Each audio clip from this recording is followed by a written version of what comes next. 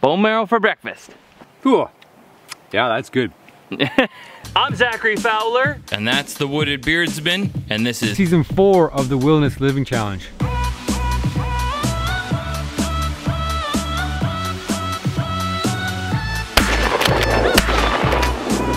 The goal of the challenge is to gain or maintain our body weight while eating nothing but wild foods. So last October, I headed up to the backwoods of Canada to meet up with the Wooded Beardsman and do just that for seven days. Last time on Wilderness Living Challenge Season 4. All right, got my first fish here in Canada. Somebody's got fish envy. I got two and he's got, no, I'm just kidding.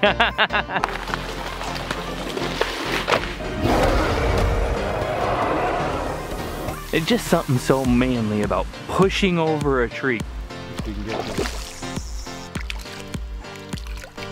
There we go.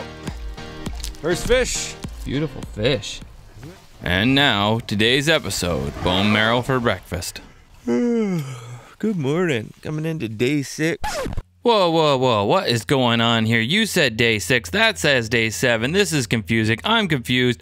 I made a mistake. Right from the beginning, it should have been day zero into the wild because you can't eat a day of wild food until you've eaten a day of wild food. So check out the playlist below. They're all in order in the right way there. You can watch the two prequel episodes, and there will be two final episodes after the whole eating wild part with a goose hunt and an interview with a wooded beardsman asking him all the hard questions. Catfish last night was awesome. Uh, let's see what we can get up to today.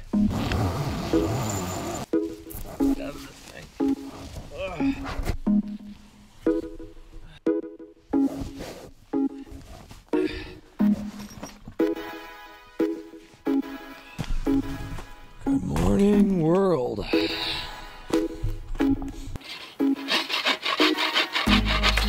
don't think so. We're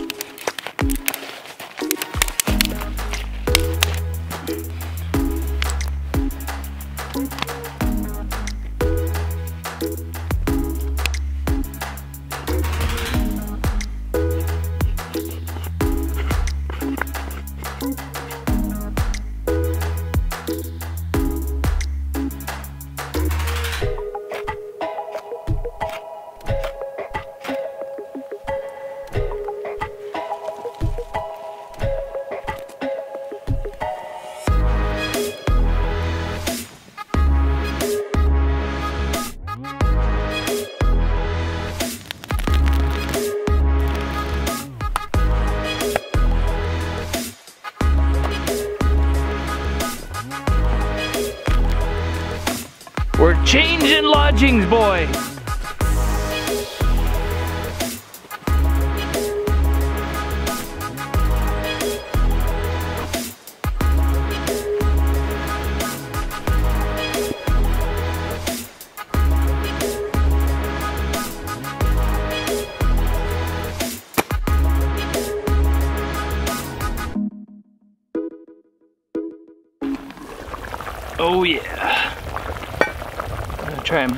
Off our stew and flip the duck over.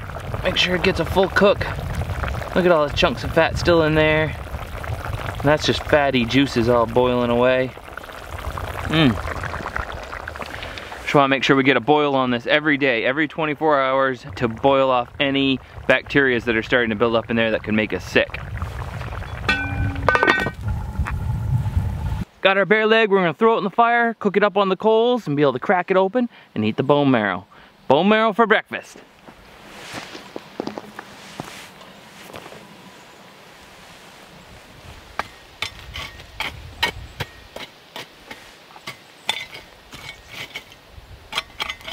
Is that what? Good? Like, like that? Sure. Catfish over there. Yeah. Looks like the breakfast of champions. I just found some chanterelles. Look at that. Woohoo! Score. Yummy, delicious chanterelles.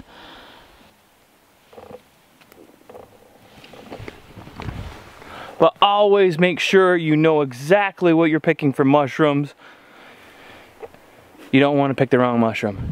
I don't care.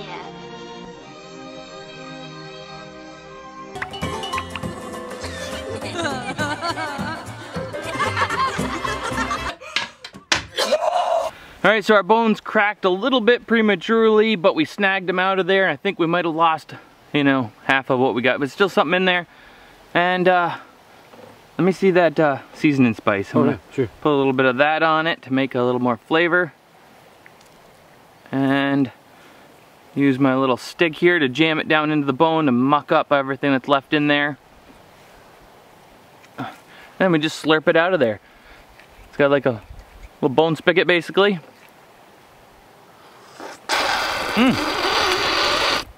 Mm.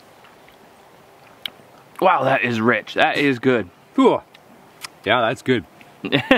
There's some calories in there. Yeah. I got all over my beard, do I? Basically, all the delicious sounds. That's the fat and and stuff there. The marrow getting all gushed up. And try to rake it out of there with my chopstick.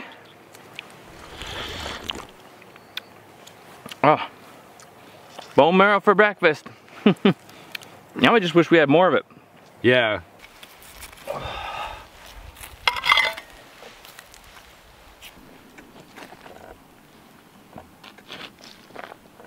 Also have the air bladder from the catfish. I'm gonna throw that onto a hot rock and sizzle that up. It's got a lot of fat in it. That'll be a tasty little treat. Looks kind of like a tongue, but that's the air bladder from the catfish.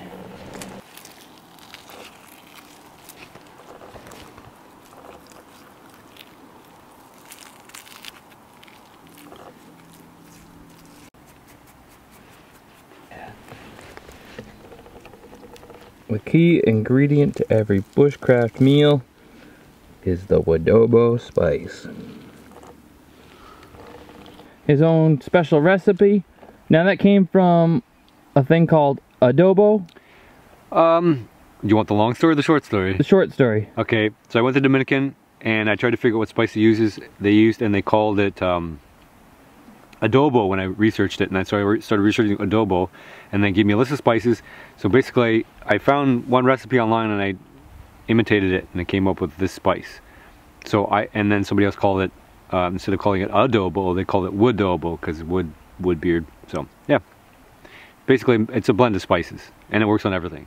Every wild game that so far that I've eaten fish, bird, bear, It just complements everything. It has like this little hint of Mexican food slash Thai food slash I don't know. Every time I have it, I feel like I it brings some other memory up of a delicious meal from some different place I've been or different restaurant type of restaurant. Italian. It's like whatever's on your mind at the time. It detects what you're craving and makes it for you. Enjoy. Look at that. Flaky, juicy catfish cooked over the coals. A little bit of the woodobo.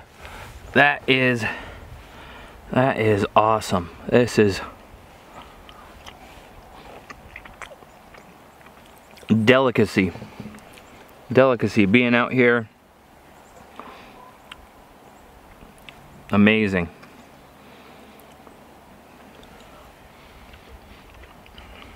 Mmm. It just melts in your mouth.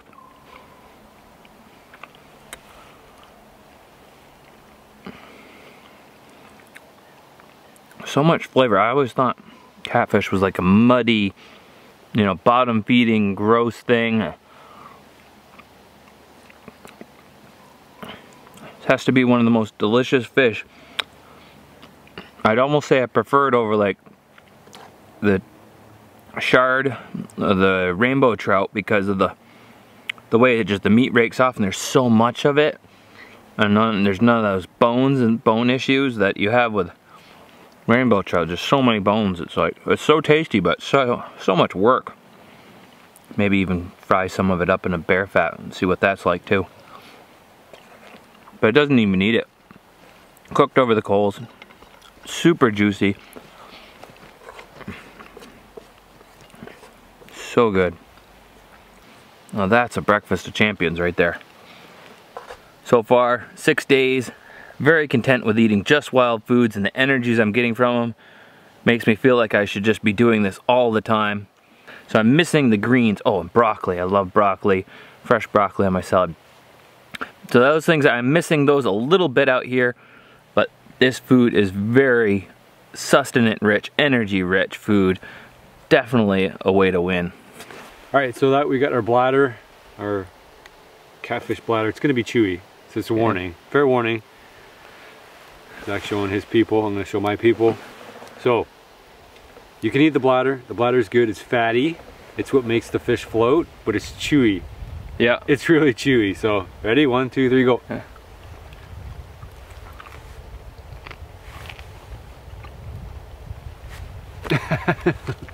Has like no flavor whatsoever. No flavor at all. No. It doesn't taste fatty necessarily either. No. Not necessarily fatty, but This is a race so you can chew their chewy piece up first. yeah. Yeah. It's a little, uh, a little chewy. A lot chewy. We could eat it. but it is, it does chew up. Yeah. Not like some fibery chewy things we eat. We've eaten fish guts before. Like that bear meat the first, or beaver or bear and things like, no, the bear meat the first day. You know, Yeah, was that, chew- that- first day's chewy, second was- day it tenderizes. oh yeah. It was like almost impossible to chew up a chunk of that bear meat after one stewing. Yeah. But Anyway, guys, you can eat the whole thing. We've eaten the guts. The only thing we haven't eaten is the gills. We've eaten eyes, the brain, the skin, the, the bladder. There's no part of the animal we haven't eaten yet. The Mm. fins, like it's all edible except for down. In the true nature of a hunter-gatherer, we are picking up, moving to a new location. I'm just polishing off the last of this catfish. We uh, caught a bunch last night. If you haven't seen that yet, go back and watch the former video on my channel and on Chris's channel, our adventure out here, catfishing at night. Caught us three good ones, but uh, then caught us nothing but snags and lost hooks. So we're gonna go for pike. Oh, such a good fish. Moving locations isn't an easy thing. It means lots of packing. So we're utilizing what we have, the car.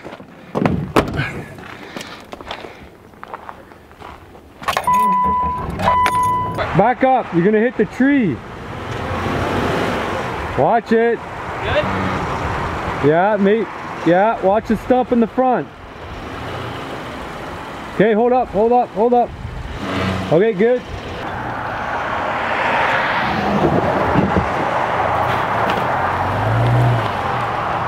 Woohoo! Nailed it! We made it.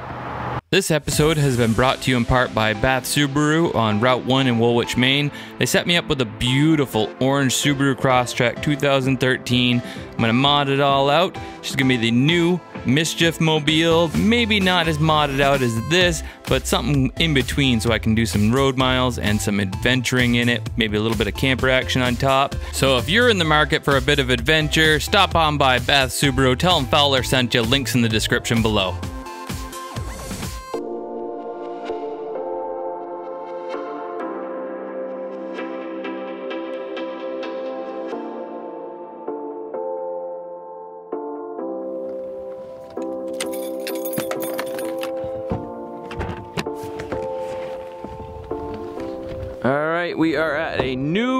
Location, the Pike Spot.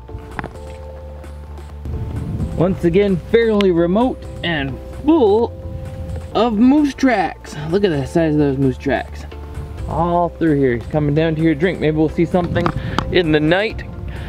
Here, I'm coming out here for a drink in the morning or something like that. Wouldn't that be fun?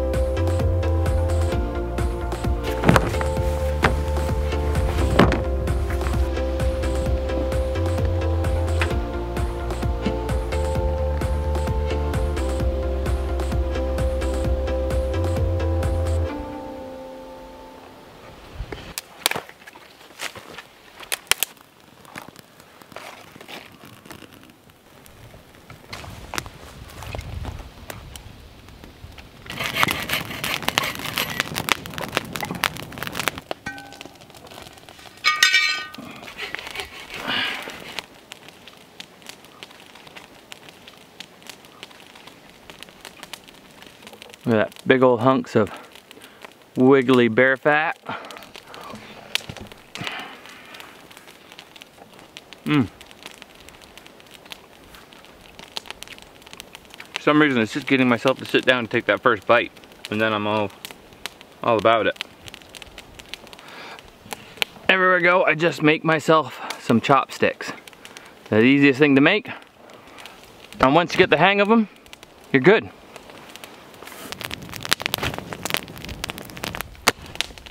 Thanks, Chris. Today on Backwoods Iron Chef, we have bear meat. We're gonna stew it, steak it, fry it, mix it with some grouse and some catfish, and eat it. Oh wait, there's more. A bunch of fat. That's right. Yeah, How's that look? awesome. so that, that a pile of fat right there was about, what, three times that size when we started the challenge? Oh, at least. At least three times the size of this, but, but we've eaten. I'm just gonna pick a few hairs off you. no worries. Yeah. Few ahead, hairs. Go ahead. Go Yeah, ahead. Yep. Yeah.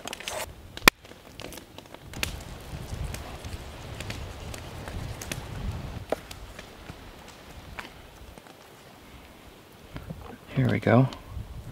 There's one nice little steak.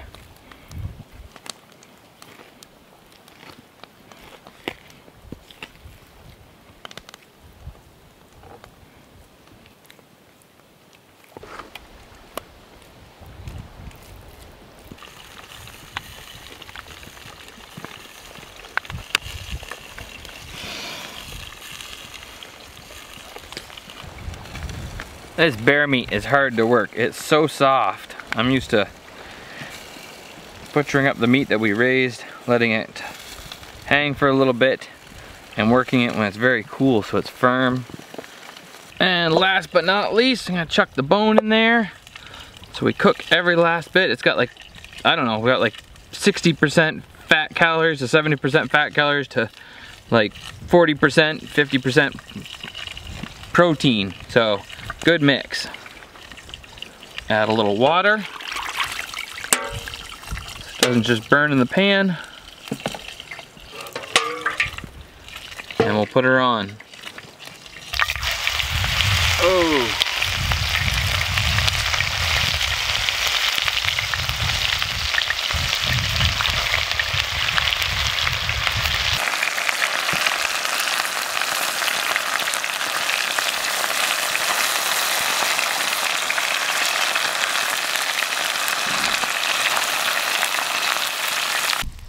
All right, steaks are done. Cooked fully through. A little sizzled on one side, some of them. Looking good. Time to eat. What do you think? It's good. Good? Tough? It's chewy. Chewy? Yeah. That's what we figured, right? yeah, we knew that was gonna happen. Yeah. Yeah, I just kind of wanted the taste of a steak, right? Yeah. Oh, the, the flavor is amazing. Actually, you know what I usually do in situations like this? The trick is to have Mm. two pieces of steak. Yeah, yeah. Use your bottom piece of steak as your cutting board for your top piece of steak. Mhm. And you're good to go. And I went down and I washed my knife. I had a little camp soap I keep with me. Washed my knife and my chopsticks. So we're not contaminating it with raw cuttings. I think the trick is gonna be small pieces. Yeah. like how small? Like, is that too big? Bites, swallow size pieces. So, uh, Swallow size. It's good. There's nothing wrong with it. Now you know why we stew. Actually, no, that's not. not too bad. That's not bad. I, I expected it to be as bad as that first one after a little bit. I think my piece is too big. Probably why I, it's gonna be trickier. Dime size diameter. That's the trick right there. Yeah, it's good, but it's better small. Ours is a fine piece. Mm-hmm. Yeah. Let the cutting tools do the work, not your teeth. Mm. I wish I had done the mushrooms. I forgot all about them until just a couple seconds ago.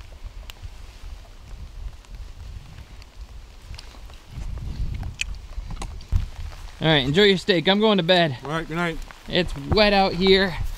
It's wet, wet, wet. It's getting wetter by the second. I've had enough of this. Gotta find my hammock. There we go. Ah, it's dry under here. Must only be like 7:30. But moving days. Moving camp, cooking food, dragging out firewood making a stew that we weren't even going to eat, but we have to to to preserve our food so we don't waste any. All of it takes a great deal of effort, which is very rewarding. So,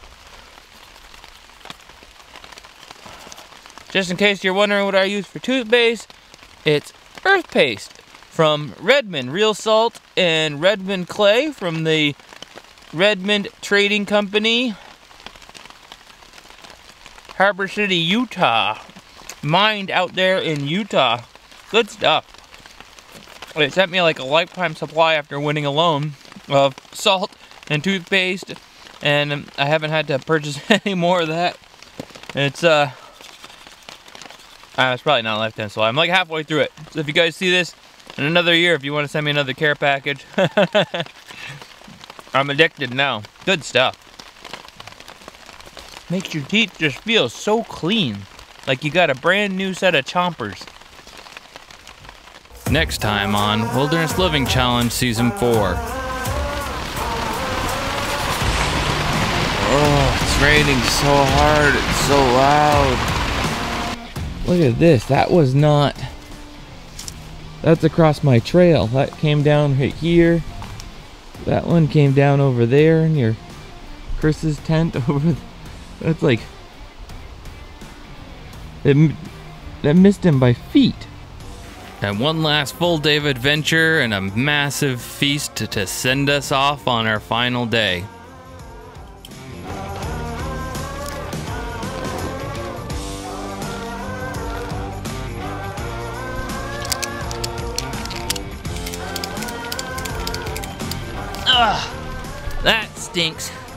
That was apparently a bad choice in trees.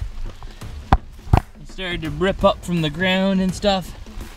So I had to put a come along strap on it. I'm picking small trees like this all the time. I guess I've been pushing the limit. Uh, I was all dry and all cozy and ready to get in. And I jumped in my hammock and the tree was like, and the whole hammock hit the ground. I think I fixed it. Let's try attempt two. There we go. Zipped in, secure, cozy. Let's hope that tree holds. If it doesn't, I'll let you know. This has been an awesome adventure. We only got one more day of adventure as far as the Wilderness Living Challenge, and then we're going to be weighing out. And make sure you check out the playlist below in the description where you can watch Chris's channel and his take. It's a very different take. You know, we're both different people, and we've both been seeing and doing different things as the days go on. Check it out and watch it from the beginning on both of our channels. Thanks for watching. I'll see you guys next time. Fowler out.